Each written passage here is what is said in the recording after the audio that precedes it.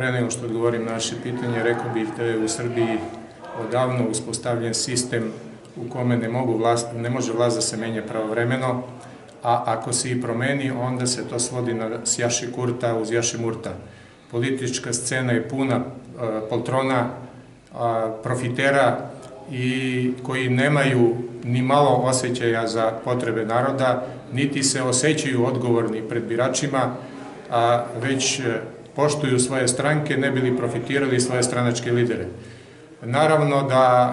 je ova naša borba teška, ali mi smatramo da je ovo potrebno za Srbiju i dokle god je potrebno mi ćemo to raditi. Mi smo napravili i nije slučajno nazvali ovu našu izbornu listu Glas naroda, u Srbiji se Glas naroda ne čuje i žestoko ćemo se boriti u parlamentu za